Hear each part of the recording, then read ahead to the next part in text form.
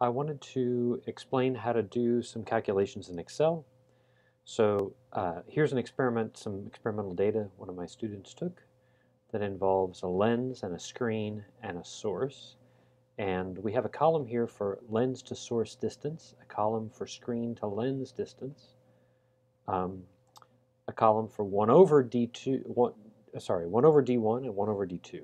So let's go ahead and see how this works. Uh, if you want to use a formula in Excel, you start the cell with an equal sign, and then you simply click on the cells you want to compute. So this is lens to source. So I'll click lens, and then I'll hit minus source. So this is going to compute the lens position minus the source position, and it computes 0.448. Now, I could type that formula into all these other cells, but Excel's smart.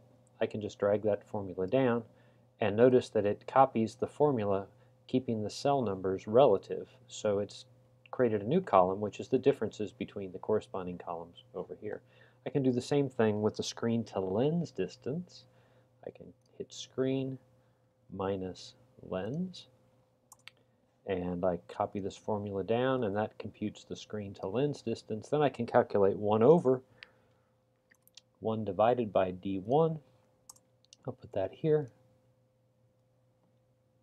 I'll calculate 1 divided by d2.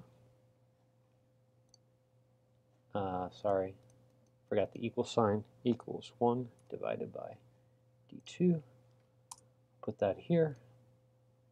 And in this particular lab, what we want is a graph that is 1 over d1 versus 1 over d2.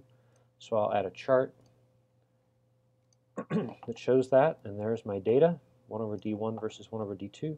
I'll add a trend line to that,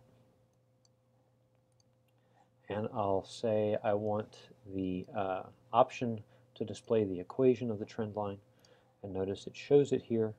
In this particular project we're interested in the slope which is close to negative 1 and we're interested in the intercept which in this case is 14.9.